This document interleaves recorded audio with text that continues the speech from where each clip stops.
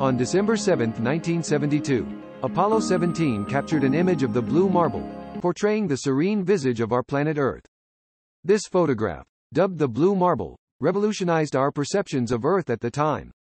Observing a planet burdened by the perils of nuclear warfare and resource exploitation, humanity initiated a global environmental protection movement.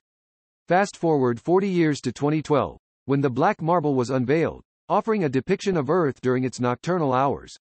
This image, too, brought about a paradigm shift in our understanding. The black marble starkly revealed the complexities of human life, from densely populated areas to economic disparities. Every light we illuminate signifies prosperity, yet it is also a beacon of hope in someone else's life. Please enjoy the next story by pressing the subscribe and like buttons.